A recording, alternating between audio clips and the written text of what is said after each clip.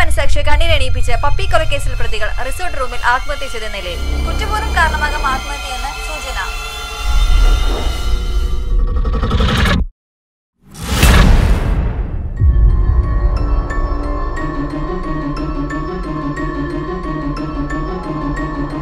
ഈ പെണ്ണവന്റെ കയ്യിൽ എങ്ങനെ വന്ന് പെട്ടെന്ന് മാത്രം എത്ര ആലോചിച്ചിട്ട് പിടികിട്ടുന്നില്ല.